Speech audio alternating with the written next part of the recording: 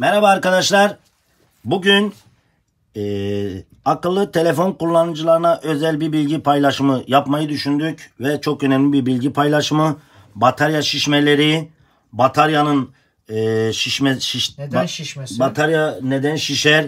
Batarya şişmeleriyle ilgili nasıl önlemler almamız gerekir? Ve şişen batarya nasıl tehlikeler yaratabilir?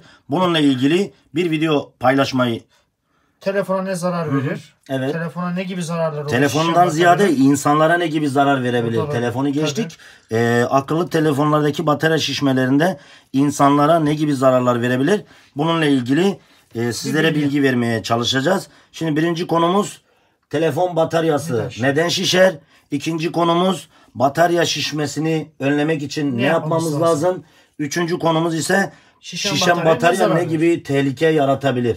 İnsanlara Değil mi? Yani insanlara telefona. ne gibi tehlikeler yaratabilir? Bunun için de öncelikle önlemimizi aldık. yangın yangın tüpümüz hazır. Her ihtimale karşı ne olur ne olmaz Allah muhafaza. Tabii. Zaten bu batarya. Evet evet bunu bu, bu da hazır dursun. İkincisi gözlüğümüz. Gözlüğümüz hazır. Üçüncüsü Maskelerimiz. olası bir batarya e, patlamasına veya duman çıkmasında Yanmasına. bunun içine koyacağız. Evet arkadaşlar şimdi e, gördüğünüz gibi burada e, şişmiş bataryalar var. Aşırı derecede şişmiş. Evet aşırı derecede şişmiş. Yanıma arkadaşları da çağırdım ne olur ne olmaz acil bir durumda 112'yi arasınlar diye. E, şimdi bu bataryalar gördüğünüz gibi şişmiş. Birincisi batarya şişmesi neden olur? Arkadaşlar batarya şişmesi her şeyden önce e, sağlıksız şarj cihazı veya sağlıksız batarya yani yan sanayi şarj cihazı veya e, yan sanayi Batarya. batarya. kullanımından dolayı gördüğünüz gibi meydana gelmektedir. Böyle şişiyor. Şimdi bunun için bizim bataryayı bu bataryaların arkadaşlar bir ömrü var. Bu bataryaların hepsinin bir ömrü var. Biz bu bataryayı sağlıklı kullanmak için nasıl bir önlem almamız lazım? Her şeyden önce orijinal şarj cihazı kullanmamız lazım. Orijinal şarj cihazı, orijinal adaptör ve orijinal batarya olması gerekir. İkincisi ise telefonu telefonu şarja taktığımızda telefonu şarja taktığımızda e, full boş iken şarja takmaya full dolduktan sonra ise şarjdan çıkarmaya önem gösterelim arkadaşlar. Üçüncüsü ise Yani araç şu değil mi? Bir taktığımızda 8 saat değil de dolunca ya çekmemiz dolunca lazım. çıkartalım tabii ha. tabii. Dolunca çıkartalım ki çünkü, Çünkü içinde hani kaldıkça %20'de ya bunlar normal bataryalar otomatik otomatik olarak e, şey yapıyor akımı kesiyor Kap- ama gene de içinde durması iyi değil. Şimdi benim Gene de telefonum şarj %100 ama hala orada işaret gösteriyor. tabii ama o mesela bir %99 oluyor tekrar şarj Bazı almaya başlıyor. kesiyor ama. %99 olduktan sonra tekrar şarj almaya başlıyor ama o devamlı Gidiyor, alıyor, veriyor, alıyor, alıyor, veriyor, alıyor, veriyor ve o bu da batarya için çok iyi bir şey değil. Aynı zamanda bir araç şarjı var. Araç Tabii. şarjlarında da e, şunu söyleyelim arkadaşlar özellikle hem araç şarjları telefona da zarar veriyor. Telefona ben buna tabii. bunlara çok şahit oldum buraya gelen müşterilerde. Evet evet. iPhone'larda şarj entegresini çok bozuyor ve stabil değil. Yani dengeli bir şekilde vermiyor. Akım bir yükseliyor azalabiliyor. Onlar da bu gibi durumlarda çok zarar veriyor telefon. Evet evet yani araç şarjlarında arkadaşlar sadece kontağı açarak yani aracı çalıştırmadan sadece kontağı açarak şarja takmanızda gene de biraz sağlıklı değil ama mecbur kaldığımızda sadece kontağı açarak şarja taktığımız zaman pek bir e, zarar vermeyebilir ama e, telefon şarjdayken aracı çalıştırdığımızda o zaman yüksek akım vermeye Akım başlıyor bir başlıyor. anda ve bu da iPhone'larda çok karşılaştığımız bir Şarj sorun özellikle entegresi. şarj entegresi, telefonun yanması, Çok. duman çıkması bunlarla ilgili bize çok Şişmesi, müşteri. yani bunun gibi şişmesinin sebepleri Evet bunlar. evet bunlarla ilgili çok Batarya. müşteri de geldi bize yani. Araç şarjına taktım böyle oldu diye. Telefon kapandı çalışmıyor. Evet şimdi e, dediğimiz gibi arkadaşlar bunu sağlıklı kullanmak için her şeyden önce sağlıklı şarj cihazı, sağlıklı, Sağlıklı. adaptör, Sağlıklı kullanım. sağlıklı batarya ve sağlıklı kullanım. Bir de arkadaşlar e, batarya şişmesini nasıl anlarız? Telefonu versene. Bir tane Tabii. telefon ver bana. Örnek batarya şişmesini nasıl anlarız?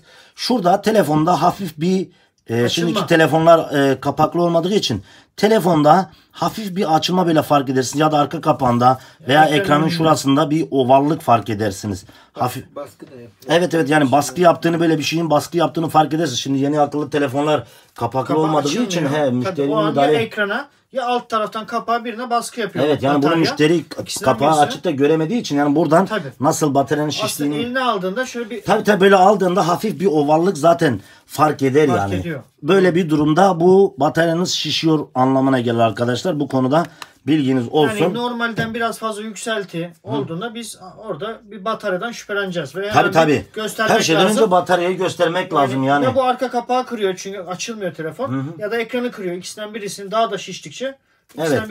Bir de arkadaşlar e, telefon kullanımı ile ilgili özellikle şunu da söyleyeyim.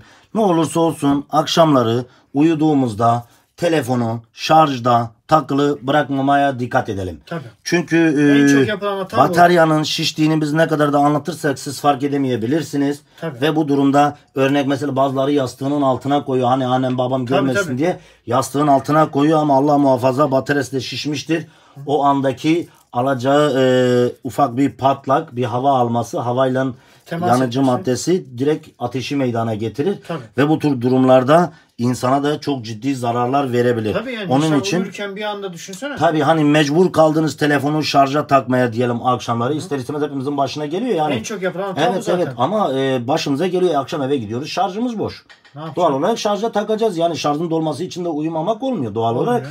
En azından bunu en aza düşürüp telefonu şarja taktığımızdaysa olabilecek en kötü ihtimale karşı telefona bir şey olsa bile orada bir ateş meydana Yakınında getirmeyecek. bulunmayalım. Tabii yani yastığın üstüne, yastığın altına, yatağın üstüne koymamaya dikkat edelim arkadaşlar.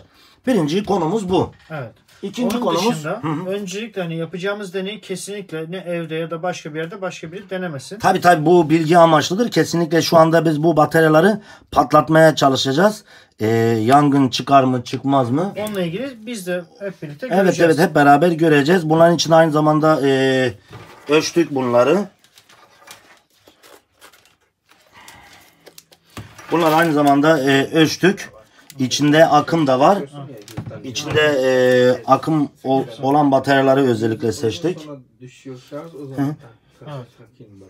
Şimdi arkadaşlar bir de e, şunu da hatırlatayım tekrardan da ne olursa olsun şarj taktığımızda mutlaka %100 veya %99 da hani problem de yani %100 çekin. olduktan sonra şarjı ş- adaptörü Çekin. şarjı Ve çekelim şarj telefona. Tam bittiğinde takalım değil mi? Tabii, tabii, yani tam cihaz bitti- tam bitti yani %50'de değil mesela %40'da şarj takalım %100 olsun bitsin bir daha. Tabii tut tut sötmeye başlayınca hani şarjı az diyor ya. Evet. O zaman takabiliriz.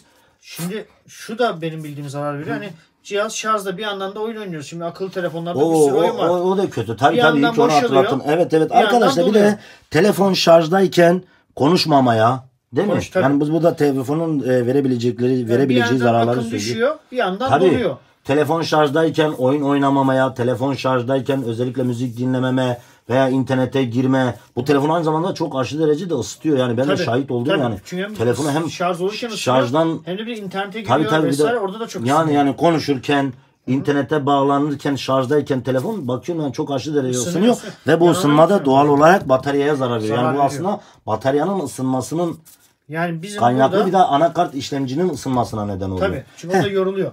Onun dışında bizim burada cihazı şarjda bittiği zaman şarja takacağız ve kullanmayacağız. Yani full kapalı mı telefon diyorsun? Açık bir şekilde olsun ya da kapalı bir şekilde olsun ama şarjdayken Tabii şarjdayken şarjdayken kullanmayacağız. Tabii tabii Tabii. yani hani e, doğal olarak hani kapalı derse kimse telefonu kapalı tutmak kapatmıyor. istemez. Yani Evet. ben de aynı şekilde. Aklımız hep He, he. oldu, Evet evet. Yani kim aradı kim etti hepimiz aynıyız yani Tabii, sonuçta. tabii. Evet arkadaşlar e, arkadaşlarla beraber çekiyoruz bir videoyu. Olası bir tehlikeye karşı ne olur Tabii, ne olmaz. Yangın tüpümüzü de hazırlamışız. Tabii. Heh, şimdi Lokman abi bize sahip Sağ ol. Neyse e, ikinci konu ikinci konuysa biraz indirelim aşağıya. Ee, tamam. İkinci konumuz ikinci konumuz neydi? Heh, batarya şişen batarya patlar mı? Nasıl patlar? Nasıl olur? Ama arkadaşlar şimdi biz bunları patlatmaya çalışacağız. Yani e, bakalım yangın çıkıyor mu, çıkmıyor mu ya da batarya sonu ne? patlarken ne oluyor? Ee, te- gerekli tedbir önlemlerimizi de aldık. Onun için şimdi biz bu bataryaları patlatmaya çalışacağız. Bakalım patlayacak mı patlamayacak mı Ama olası en kötü senaryoyu düşünerekten burada biz tedbirli bir şekilde tabi yapıyoruz. tabi bunu. tabi özellikle Hasan'ı da çağırdım. Tabii. He, he ustamız da burada yanımızda. Dedim her ihtimale karşı Tabii. tek başıma kalmayayım değil mi? Tabii. Evet. Şimdi biz bunları patlatmaya çalışacağız Tek arkadaşlar. tek Tek, tek. tek mi patlatmaya çalışacağız? Dur. Çok Tamam. tamam. Bence bu şu iki büyük. Zaten bunları bunları gerek yok usta. Bunlar çok fazla şişmemiş. Biz bu iki tane üzerinde çalışacağız. Evet şimdi öncelikle bir delelim. Delmeye çalışalım daha doğrusu. Evet. Gördüğünüz gibi bunun direkt havası indi. Hmm, Yani. Ama arkadaşlar bu patlamayacak anlamına da gelmez bu konuda bilginiz olsun yani biz sadece şu anda bunun havasını indirmeye çalıştık bunu da böyle sert vurarak patlatmaya çalışacağız şimdi.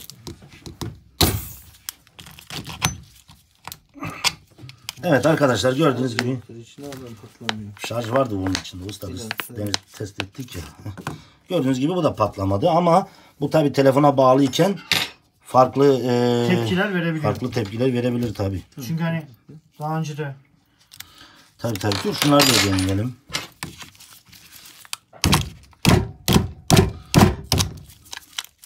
Yok bu da patlamadı. Bu da patlamadı. Bu biraz sert ama. Heh. Bu içinde ateş çıktı usta. Evet. Usta bu yanıyor ama sanki. Bak. Koku gelmeye başladı bundan. Bundan koku gelmeye başladı. Şunu gene gene de her ihtimale karşı olası bir Bunun içine için atalım. Bak bak ateş var ama içinde ha. Usta içinde ateş var bunun. Şu anda sımsıcak oluyor usta. Bak görüyor musun ateşi bak bak. Aç usta. Evet arkadaşlar bilmiyorum oradan görünüyor mu ama şu anda bu delikten ateş görünüyor. Evet gördüğünüz Duman gibi. çıkmaya başladı. Duman da çıkmaya başladı. Hasan da bu arada sözde yangın tüpünü tutacak ama geri geri gitmeye Tutuyorum. başladı. tutuyorum tutuyorum. Hasan usta sıcacık oldu ha. Tamam biz bunu gene kutunun içine koyalım ne olur ne olmaz. Her türlü ihtimale karşı. Tabii. Biz Bunu dur usta bunu da Can dur dur bunu da sert patlatan. Dur usta dur dur öyle öyle patlamaz dur dur. Şöyle yapalım. Yok bu da patlamadı. Bunun içinde de su çıktı. Ya Hı hı, sıvı. Ta bu taraftan çıktı usta. Hasan görüyor musun? Ta buradan çıktı. Evet arkadaşlar gördüğünüz gibi bunları patlatmaya çalıştık. Sadece bu elciden sadece bu elci şu anda sımsıcak. İçinden şu anda eee, şey yapıyor. Biraz sonra kimyasal tepkiye girdi. kimyasal tepkiye girdi. Evet bir daha vuralım bakalım. Vurmasak da olur. Hasan korkma ya. Gözünü seveyim. yeni yarın gelir. Yerincimizi yarın getireceğiz. Ama Hasan bir yerlesene sımsıcak ha. Hadi eleyim. Bir yerle bakayım bak. Abi çok Usta sıcak. bir baksana sımsıcak. Valla sıcak. Evet arkadaşlar bu videoyu e, bilgi amaçlı paylaşmak istedik. E, bu konuda insanların bilinçli olması için bu konuda e, bilgili olması için özellikle bu videoyu çektik. Bataryanın daha sağlıklı kullanması, batarya şişmesinde ne gibi olsa çok pis kok kokmaya başladı bu. Batarya şişmesiyle ilgili ne gibi önlemler almamız gerektiğini bunu sizlerle paylaşmak istedik. Umarım güzel bir bilgi olmuştur. Umarım güzel bir bilgi olmuştur. Faydalı olmuştur. Faydalı bir bilgi olmuştur. Dur usta şunu bir açalım. Hmm.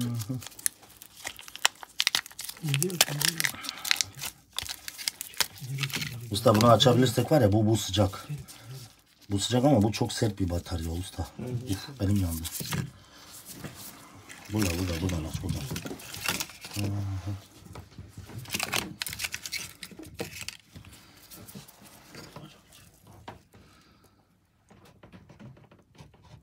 Usta dikkat et.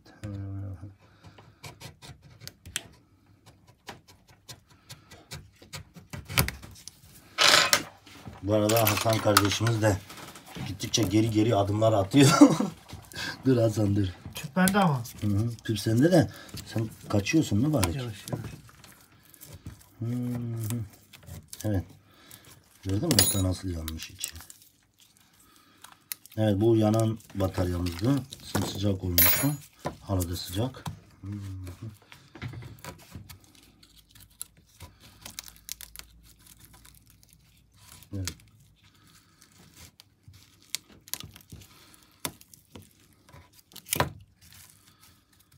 Evet arkadaşlar gördüğünüz gibi eee, dediğim gibi batarya şişmelerine dikkat edin. tekrar e, batarya şişmesinin nasıl olacağını size hatırlatalım. Telefon böyle kenardan hafif Açılma. oval ise ya da kenarlardan açılma varsa özellikle şuralardan e, ekran çıkıyor dışarıya veya burada arka kapak kasa çıkıyor dışarıya. Ekran kasadan ayrılıyor. Yeni modellerde de hiç Yeni modellerde böyle kapak tabii müşteri görmüyor. Müşteri kapağı açamıyor tabii. yani Şişerse içinde görmüyor. şişiyor tabii. Tabii. He. Ve bu ekranı yukarı çıkartıyor. Hasan neyse pis Ya kokmaya alttan- başladı burası. Evet arkadaşlar dediğimiz gibi e, batarya şişmelerine dikkat edelim. İzlediğiniz için teşekkür ederim.